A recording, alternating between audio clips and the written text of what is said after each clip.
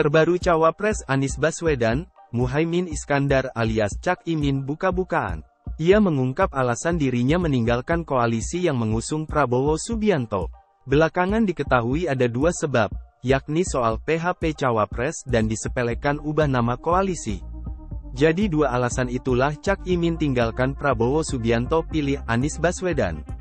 Meski sudah dirangkul oleh tiga partai besar dalam koalisi Indonesia Maju, Kim, nyatanya Ketua Umum Partai Kebangkitan Bangsa, PKB, Muhaimin Iskandar alias Cak Imin tetap hengkang sebelum Pilpres 2024. Cak Imin mengungkapkan alasannya hengkang dari Kim dan memilih berpasangan dengan Anies Baswedan di koalisi Nasdem PKS. Ada dua alasan yang melatar belakangi keputusan kontroversial Cak Imin tersebut seperti diungkapkannya di Ponpes Al-Aqobah Tebuireng, Jombang dikutip Selasa, tanggal 12 September tahun 2023. Pertama, Cak Imin cukup resah lantaran dirinya tak juga diumumkan oleh Ketua Umum Gerindra, Prabowo Subianto sebagai bakal calon wakil presiden, Cawapres. Ketidakjelasan itu kata Cak Imin cukup mengganggunya. Apalagi, PKB Gerindra sudah berkoalisi selama 12 bulan. Bahkan saya feeling aja ketemu salah satu ketua umum yang ada, saya bilang ini kayaknya. Tanda-tandanya yang akan dijadikan wapres Pak Prabowo ini bukan ketua umum PKB ini, nggak jelas posisinya, ujar Cak Imin. Karena ketidakjelasan akan posisinya dalam koalisi tersebut, ia pun memilih mundur dan menerima tawaran yang sudah jelas-jelas dirinya dipilih sebagai cawapres.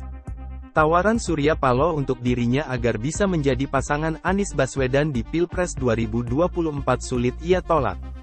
Lagian kata Cak Imin, tiga partai yakni Gerindra, PAN, dan Golkar sebetulnya sudah memenuhi aturan presidensial threshold. Sehingga PKB tidak perlu lagi berkoalisi dengan Prabowo, kata Cak Imin. Selain tak kunjung dipilih sebagai cawapres, alasan kedua Cak Imin adalah karena ia merasa disepelekan, terutama dalam membahas perubahan nama koalisi Gerindra Pan Golkar PKB. Saat itu, nama empat partai koalisi ini adalah Koalisi Kebangkitan Indonesia Raya, KIR. Tetapi tiba-tiba berubah jadi Koalisi Indonesia Maju, KIM.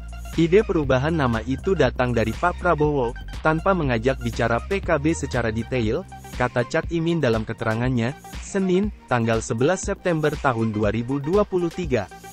Hal inilah jadi alasan kedua menjadi salah satu faktor yang memicu keputusan PKB.